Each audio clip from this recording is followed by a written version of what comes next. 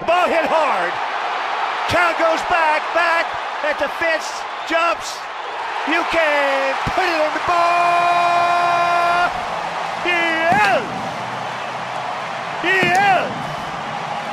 He is. Two-run homer by Alex Rios, and the Sox win it eight to six.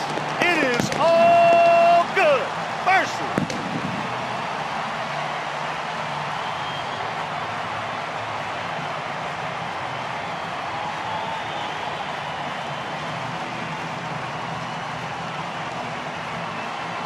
He made him get it up.